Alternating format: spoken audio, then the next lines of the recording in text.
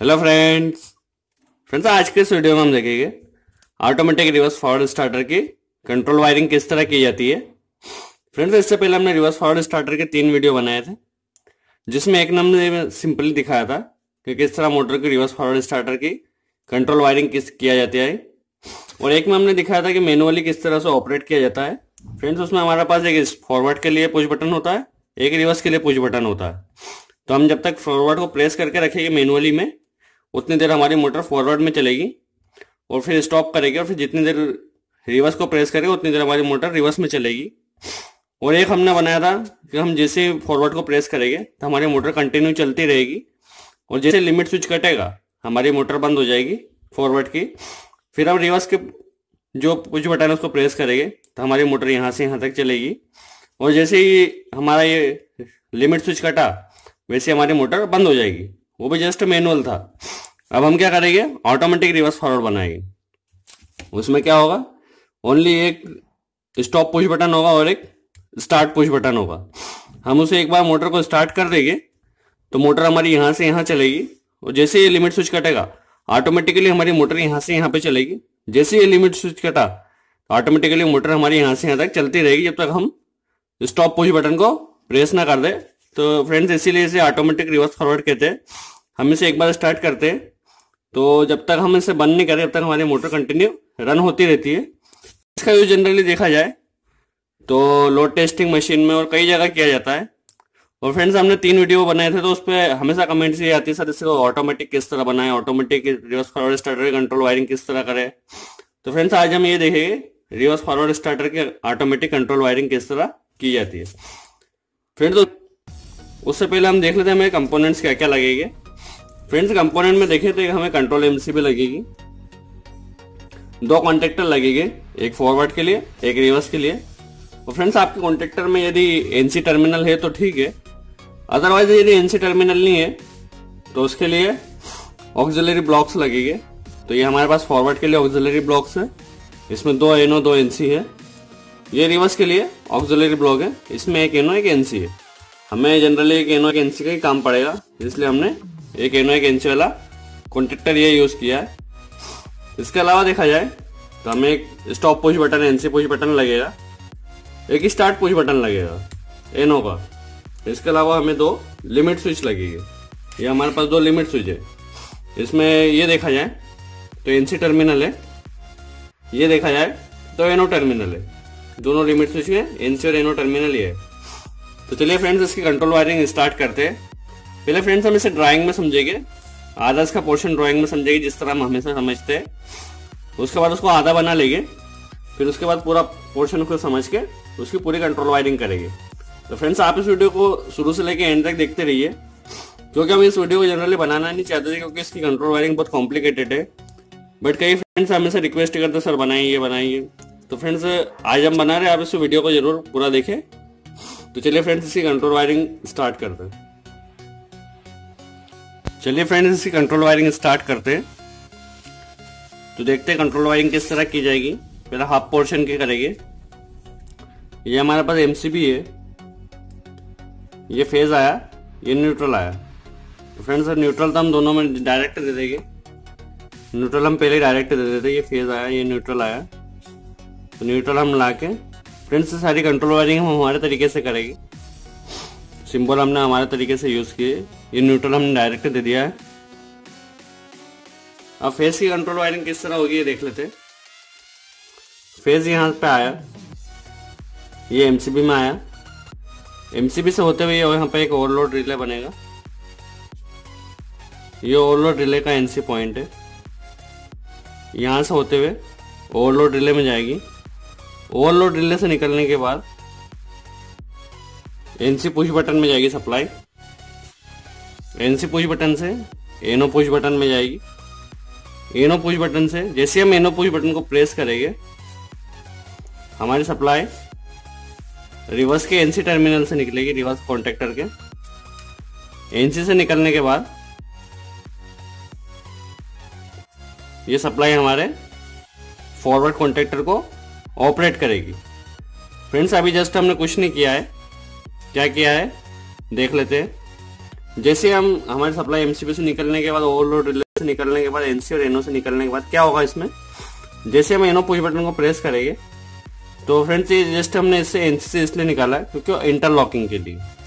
जैसे हम, जब कॉन्ट्रेक्टर ऑफ़ कंडीशन में रखा तो एनसी टर्मिनल से सप्लाई कंटिन्यू निकलेगी और फॉरवर्ड को ऑपरेट कर देगी।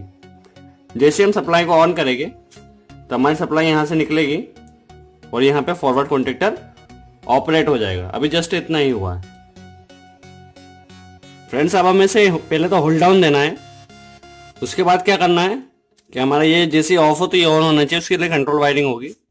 तो पहले हम इसके होल्ड डाउन के लिए देख लेते हैं। तो क्या होगा, पहले वर्किंग क्या रहेगी? जैसे ये ऑपरेट हुआ, जैसे हमारा ये लिमिट स्विच ऑपरेट होगा तो ये कॉन्ट्रेक्टर चलेगा। और ये लिमिट स्विच जैसे ऑपरेट होगा तो ये कॉन्ट्रेक्टर चलेगा तो हम होल्ड डाउन के लिए क्या करेंगे फ्रेंड्स हम होल्ड डाउन हमने कई बार दिखाया वीडियो में। तो होल्ड डाउन किस तरह देते हैं? यहाँ से ले सकते हैं, यहाँ से ले सकते हैं। तो पहले हम होल्ड डाउन यहाँ से एक सप्लाई ले लेते हैं। और इस सप्लाई को इस लिमिट स्विच के एनसी से। डेट मीन्स जब ये ऑफ़ कंडीशन में रहेगा तो एनसी से कंटिन्यू सप्लाई निकलती रहेगी। और एनसी से जो सप्लाई निकलेगी उसे हम दो तरीके से यूज़ करेंगे। पहले तरीके से क्या करेंगे? यहाँ से जो सप्लाई निकली, उसे इसके एनो पुश बटन से। डेट मीन्स अभी ये कॉन्ट्रेक्टर हम ये लिमिट स्विच ऑपरेट है। ऑपरेट है तो ये एनो जो है एनसी बना हुआ। डेट मीन्स यहाँ से सप्लाई निकल रही है। तो हमने क्या बोला था? ये जब जब तक ऑपरेट रहेगा, तब तक ये कॉन्ट्रेक्टर चलेगा। तब ये ऑपरेट कंडीशन में, ये लिमिट स्विच अभी ऑपरेट हो गया है। तब इसने चलना चाहिए। तो ये एनो से एनसी निकलेगी। एनो से सप्लाई निकलेगी और इस कॉन्ट्रेक्टर के एनसी में हम दे रही है और यहाँ से सप्लाई कंटिन्यू जा ही रही है। तो जैसे ये ऑपरेट हुआ, हमारे ये कॉन्ट्रेक्टर ऑपरेट हुआ बट जब तक जब तक हम इसे प्रेस करेंगे। अब हमें क्या करना है, इसे होल्ड डाउन देना है। तो होल्ड डाउन के लिए हम होल्ड डाउन किस तरह देते हैं? यहाँ से एक सप्लाई को लेके यहाँ से सप्लाई निकली, एनसी से। अब हमें इसे होल्ड डाउन देना है। तो होल्ड डाउन हम किस तरह देते देख लेते हैं। फ्रेंड्स ये कलर मैच हो रहा है, इसलिए कलर चेंज कर लेते यहाँ से सप्लाई लेंगे हम। और इसे यहाँ पे एनो में दे देंगे। डेट मीन्स यहाँ से ये एनसीसी से सप्लाई कंटिन्यू आती रही। यहाँ से सप्लाई कंटिन्यू आ रही है अभी। और कंटिन्यू आने से, और हम यहाँ से एक लूपिंग कर देंगे। फ्रेंड्स होल्ड डाउन हम इसी तरह देते हैं। हमने ड्यूल स्टार्टर भी बने स्टार डेल्टा स्टार्टर भी बने तो एनो से एनो पे सप्लाई ला के रख देते हैं। हम यहाँ से निकालने के बाद और यहाँ से लूपिंग कर देते हैं। इसी तरह हम इसकी होल्ड डाउन देते हैं। तो फ्रेंड्स अभी क्या होगा? जैसे हमारा ये लिमिट स्विच ऑपरेट हुआ, ये लिमिट स्विच को ऑपरेट होते हमारे कॉन्ट्रेक्टर ने ऑपरेट होना चाहिए। अभी इसके बारे में हमने कुछ भी नहीं किया है। जैसे ये लिमिट स्विच ऑपरेट हुआ तो हमारा कॉन्ट्रेक्टर ऑपरेट होना चाहिए। चलिए फ्रेंड्स पहले इसकी कंट्रोल वायरिंग कर लेते हैं इतनी। उसके बाद इसकी पूरी कंट्रोल वायरिंग देखेंगे। ज़्यादा कॉम्प्लिकेटेड नहीं हो जाए, इसके लिए पहले हम इतनी कंट्रोल वायरिंग बना लेते फ्रेंड्स हमने अभी जितनी ड्राइंग देखी है, उतनी हमारी कंट्रोल वायरिंग हो गई है। वो किस तरह हुई है, देख लेते हैं। ये हमारा फ़ेज़ निकला एमसीबी से। ओवरलोड रिले में गया। ओवरलोड रिले के एनसी से निकलने के बाद एनसी पुश बटन में गया। एनसी पुश बटन से निकलने के बाद एनो पुश बटन में गया।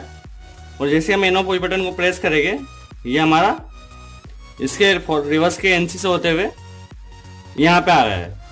तो फ्रेंड्स अभी तो जस्ट ये अब इसका होल्ड डाउन हमने कैसे दिया है? ये होल्ड डाउन के लिए ग्रीन येलो वायर यूज़ किया है। इसे इस लिमिट स्विच के एनसी से निकाला है। एनसी से निकालने के बाद इससे एनसी से रेड वायर निकला इस केबल से। जो इस केबल से होते हुए इस लिमिट स्विच के एनो पॉइंट में गया है। इस जेनो पॉइंट से निकलने के बाद ये यहाँ से निकला। डेट मीन्स ये जब भी हमारा ऑपरेट होगा तो हमारा ये कॉन्ट्रेक्टर ऑपरेट हो जाएगा। इसके एनो से घुमाया हमने। और ये रेड वायर यहाँ पे दे दिया हमने। तो ये दोनों वायर यहाँ पे कनेक्ट हो गए। एक तो इससे निकलने के बाद और लिमिट स्विच के एनो से निकलने के बाद दो वायर यहाँ पे आ गए। जैसे हमारा कॉन्ट्रेक्टर जब हमारा बंद है तो ये सप्लाई कंटिन्यू निकलती रहेगी और हमारे कॉन्ट्रेक्टर को ऑपरेट करेगी। बट ये ऑपरेट कब तक होगा? जब तक ये प्रेस रहेगा। अब इससे होल्ड डाउन हमने किस तरह दिया? है तो होल्ड डाउन के लिए देखा जाए तो यहाँ से जो सप्लाई आई थी, ये एनसी से जो निकली थी, यहीं से एक वायर और उठाया और ये इसके एनसी से जो निकला था, उसे यहाँ पे होल्ड डाउन के लिए यहाँ पे दे दिया है, जिससे कंटिन्यू यहाँ पे सप्लाई आती रहेगी। जैसे हमारा कॉन्ट्रेक्टर इससे इंच करने से ऑपरेट हुआ तो यहाँ पे सप्लाई हमें मिल जाएगी और कॉन्ट्रेक्टर हमारा परमानेंटली फॉरवर्ड का ऑपरेट हो जाएगा। तो इसे देख लेते किस तरह काम कर रहा है।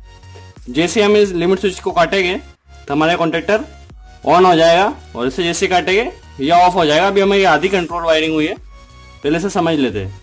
ये हमने देख लेते किस तरह काम कर रहा है। कंट्रोल एमसीबी को ऑन किया।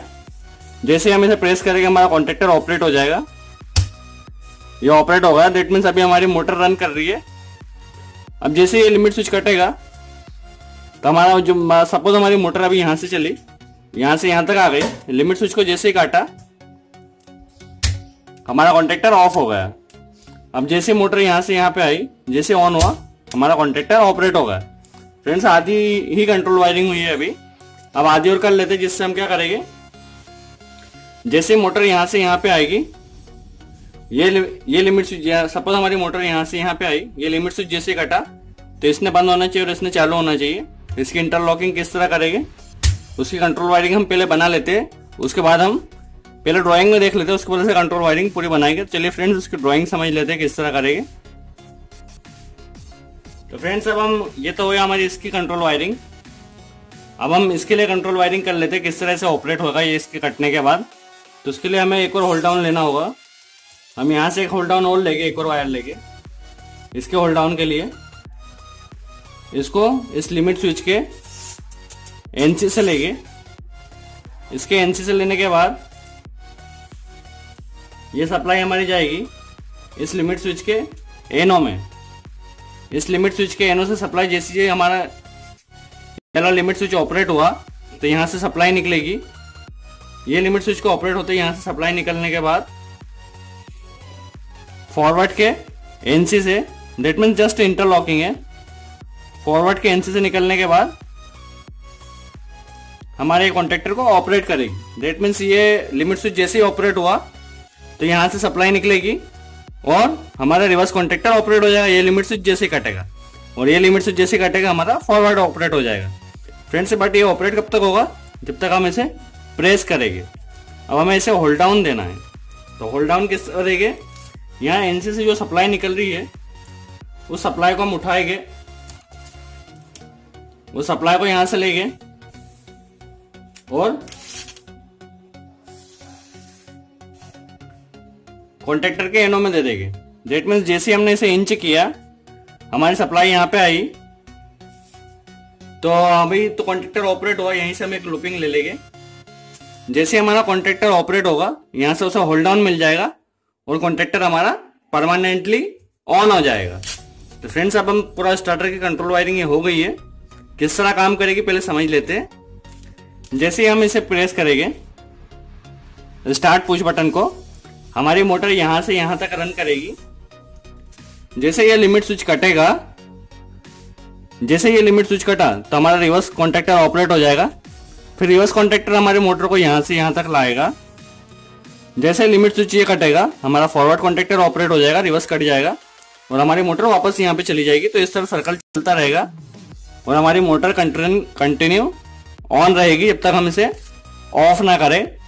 तो फ्रेंड्स इस तरह ऑटोमेटिक ऑटोमेटिक रिवर्स फॉरवर्ड की कंट्रोल वायरिंग होती है। तो फ्रेंड्स अभी हमने जितना समझाया है, उतने हम पहले कनेक्शन कर लेते हैं और देख लेते हैं किस तरह वर्क कर रहा है।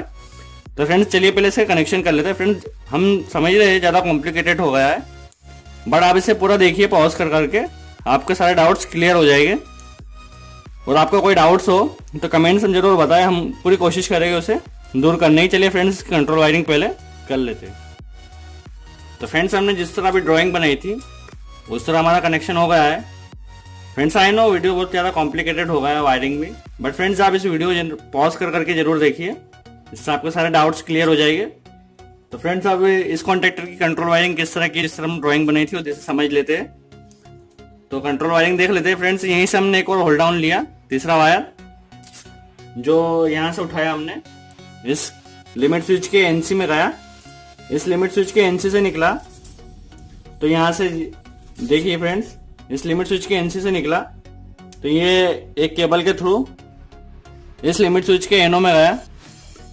ये ब्लैक वायर, और ब्लैक वायर से लिमिट स्विच के एनो से जाने के बाद जैसे जैसे ये लिमिट स्विच ऑपरेट होगा तो यहाँ से सप्लाई निकलेगी यहाँ पे हमारे। एक रेड वायर निकला। ये रेड वायर यहाँ पे आया, जिसे हमने ज्वाइन करके इस कॉन्ट्रेक्टर के एनसी में दिया। इस कॉन्ट्रेक्टर के एनसी से होते हुए जस्ट इंटरलॉकिंग के लिए, ये कॉन्ट्रेक्टर हमने ऑपरेट कर दिया कोयल में सप्लाई दी। तो कॉन्ट्रेक्टर हमारा ऑपरेट होगा, बस ये ऑपरेट जब तक रहेगा, जब तक हम इसे प्रेस करेंगे। अब इसी होल्ड डाउन किस तरह दिया हमने तो यहीं से एनसी से एक सप्लाई उठाई हमने, जो कंटिन्यू यहाँ से सप्लाई जाती रहेगी। और इसे होल्ड डाउन के लिए, यहाँ इसके एनओ में एनओ के आउटपुट में दे दिया। देट मीन्स यहाँ पे भी कंटिन्यू सप्लाई आ रही है। अब जैसे ही हमारा कॉन्ट्रेक्टर हमने इसे प्रेस किया ऑपरेट हुआ तो थोड़ा ही भी ऑपरेट होगा तो ये जैसे ये नीचे जाएगा, हमारा कॉन्ट्रेक्टर ऑपरेट हुआ तो ये सप्लाई यहाँ से मिल जाएगी इसे, और हमारा कॉन्ट्रेक्टर परमानेंटली ऑपरेट हो जाएगा। तो फ्रेंड्स एक बार इसकी वर्किंग समझ लेते हैं कनेक्शन तो हुआ। ये वर्क किस तरह करेगा? हम जैसे ही इस एनो पुश बटन को प्रेस करेंगे तो हमारी जो मोटर है, वो फॉरवर्ड घूमने लगेगी। डेट मीन्स यहाँ से यहाँ पे जाएगी। जैसे ये लिमिट स्विच कटा ये लिमिट स्विच जैसे ही कटेगा तो हमारा ये कॉन्ट्रेक्टर ऑफ़ हो जाएगा और ये कॉन्ट्रेक्टर ऑन हो जाएगा। अब ये कॉन्ट्रेक्टर मोटर को रिवर्स घुमाएगा और रिवर्स घुमाते हुए यहाँ पे लाएगा। अब जैसे ही हमारा यहाँ पे मोटर आ गई, ये लिमिट स्विच हमारा जैसे ही कटा तो हमारी ये मोटर यहाँ कॉन्ट्रेक्टर ऑपरेट हो जाएगा और ये ऑफ़ हो जाएगा। अब हमारी मोटर फॉरवर्ड में घूमने लगेगी। वो मोटर जब जैसे जाएगी, जैसे लिमिट स्विच कटेगा, ये कॉन्ट्रेक्टर ऑपरेट हो जाएगा। ये लिमिट स्विच जैसे कटेगा ये कॉन्ट्रेक्टर ऑपरेट हो जाएगा और दूसरा वाला बंद हो जाएगा। तो फ्रेंड्स हमारी कंट्रोल वायरिंग बन गई है जस्ट समझ लेते हैं। इसे ऑपरेशन इसका परफॉर्म कर लेते हमने कंट्रोल एमसीबी को ऑन किया। अब हम जैसे इस एनो पुश बटन को प्रेस करेंगे, हमारा फॉरवर्ड कॉन्ट्रेक्टर ऑपरेट होने लगेगा। तो फ्रेंड्स देख लेते हैं। जैसे इसे प्रेस करेंगे, हमारा फॉरवर्ड कॉन्ट्रेक्टर ऑपरेट होगा। अभी कब तक रन करेगा? अभी सपोज़ हमारी मोटर ऑपरेट होने के बाद मोटर यहाँ से यहाँ तक रन करी। वो मोटर यहाँ पे जैसे ही पहुँची, हमारा ये लिमिट स्विच कट जाएगा। ये लिमिट स्विच जैसे ही कटा, हमारा फॉरवर्ड ऑफ़ हो गया और रिवर्स ऑन हो गया। अब हमारी मोटर यहाँ से यहाँ पे चलेगी। हमारी मोटर जैसे ही यहाँ पे आई, हमारा रिवर्स ऑफ़ हो जाएगा लिमिट स्विच जैसे कटेगा और फॉरवर्ड ऑन हो जाएगा। देख लेते हैं। तो फ्रेंड्स ये हमारा ऑन हो गया। अब मोटर जिस तरह कंटिन्यू ये परफॉर्म ऑपरेशन चलता रहेगा। जितनी भी देर होगा तो फ्रेंड्स इस तरह रिवर्स फॉरवर्ड का ऑटोमेटिक स्टार्टर बनाया जाता है। फ्रेंड्स थोड़ा सा कॉम्प्लिकेटेड होगा इसकी वायरिंग बट आप इसे पॉज कर करके ज़रूर देखिए। आपके सारे डाउट्स क्लियर हो जाएँगे किस तरह हमारा मोटर रन करेगी फॉरवर्ड में और किस तरह रिवर्स में। इससे पहले भी हमने फ्रेंड्स तीन वीडियो बनाए आप उन्हें भी ज़रूर देखिए, उनके लिंक हम डिस्क्रिप्शन में दे देंगे। सो फ्रेंड्स आज के लिए इतने आपके कोई भी डाउट्स हो तो कमेंट्स बॉक्स में ज़रूर लिखे। फ्रेंड्स आज के लिए इतना ही. Thanks friends